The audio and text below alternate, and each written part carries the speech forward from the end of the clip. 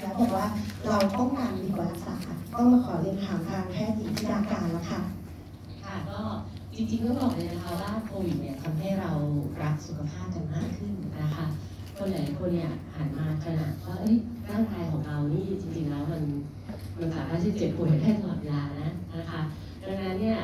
คนก็จะหันมาให้ความสำคัญกับเรื่องของอาหารสุขภาพมากขึ้นนะคะให้ความสำคัญกับเรื่องของการออกกำลังกาย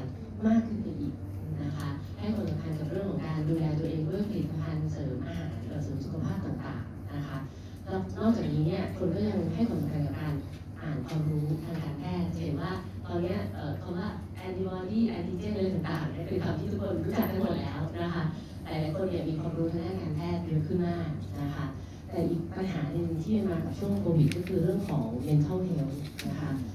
ปัญหาในเรื่องของ mental health สุขภาพจิตเนี่ยไม่ว่าจะเรื่องของเหงาซึมเศร้านะคะหรือว่าอื่นๆเนี่ยก็เยอะขึ้นเช่นกันนะคะอันนี้ก็จะเป็นเทรนด์ที่ทางการเราพบนะคะนอกจากนี้คนยังให้ความสำคัญกับการตรวจสุขภาพนะคะตรวจพบก่อนเกิดโรคนะคะรวมถึงการตรวจสุขภาพ หลังจากเจ็บป่วยด้วยโควิดด้วยนะคะอันนี้ก็มาเช่นกันนะคะนี่ก็เป็นเทรนด์สุขภาพที่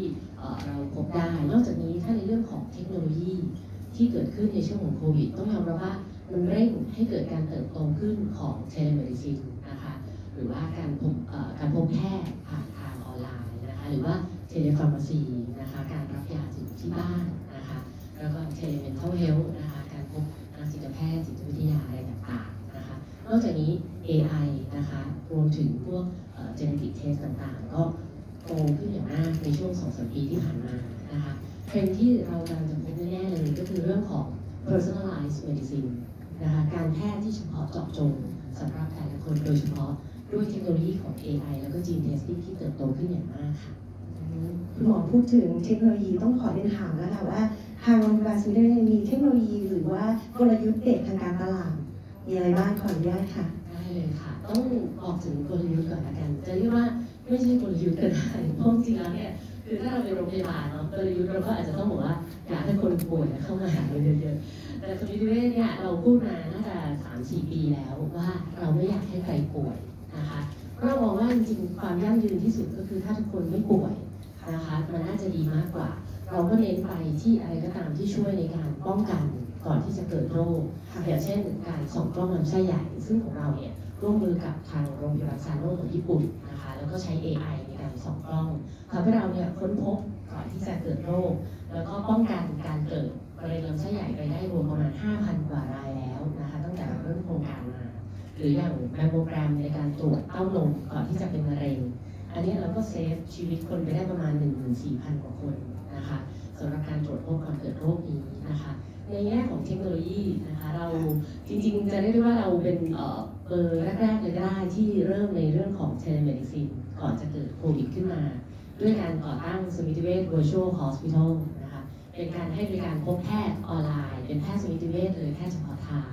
24 ชั่วโมง 7 วันนะคะดังนั้นเนี่ยทุกคนอุ่นใจได้ปวยเมื่อไหร่ก็คือพบแพทย์ออนไลน์ได้นะคะจัดส่งยาถึงบ้านนะคะ ในแง่ของผู้ป่วยโรคเรื้อรัง เช่นเบาหวานความดัน เรามีตัว Engage Care ซึ่งเป็นเทคโนโลยีในการติดตามระดับน้ำตาล ระดับความดัน ถ้าผิดปกติผลก็จะถูกส่งไปยังแพทย์ประจำตัวนะคะอันนี้ก็ช่วยผู้ป่วยโรคเรื้อรังนะคะนอกจากนี้เนี่ยในกรณีผู้ป่วยมาที่โรงพยาบาลเนี่ยเราก็จะมีเทคโนโลยีในการติดตามสถานะการผ่าตัดนะคะให้ญาติสบายใจว่าอ๋อตอนนี้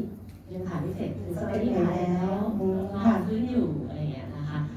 ที่เคยมีญาติผ่าตัดจะทราบว่ามันร้อนใจเนาะใช่ไม่รู้ค่ะว่าเอ๊ะเนี่ยหายไปไหน ทุกสเต็ปทุกวินาทีมีความสำคัญหมดนะใช่คะค่ะ แล้วก็อีกกรณีหนึงคือเราเป็นผู้ป่วยใน เราจะงงว่าวันนี้เราจะต้องทำอะไรพยาบาลคนนี้ที่ผ่านเราชื่ออะไรนะ เราต้องไปเอ็กซเรย์กี่โมงอะไรอย่างเงี้ยเราก็จะมีตัวแอปพลิเคชันที่ช่วยให้ผู้ป่วยในเนี่ยทราบสถานะตัวเองว่าวันนี้จะทำอะไร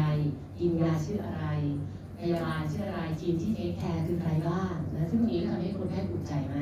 าก บริษัทที่ชื่อว่า SkinX ค่ะ SkinX เนี่ยเป็นแอปพลิเคชันนะคะพบหมอผิวหนังออนไลน์นะคะที่รวมหมอที่ไม่ใช่แค่หมอสมิติเวชแต่เป็นหมอผิวหนังทั่วไปเลยค่ะ200 กว่าท่านอยู่ในแพลตฟอร์มนะคะค่ะซึ่งตรงนี้